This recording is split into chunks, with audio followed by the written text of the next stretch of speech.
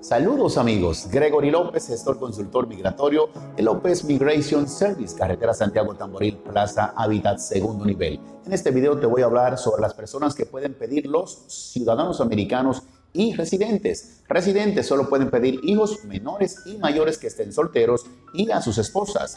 Los ciudadanos americanos pueden pedir prácticamente a toda la familia.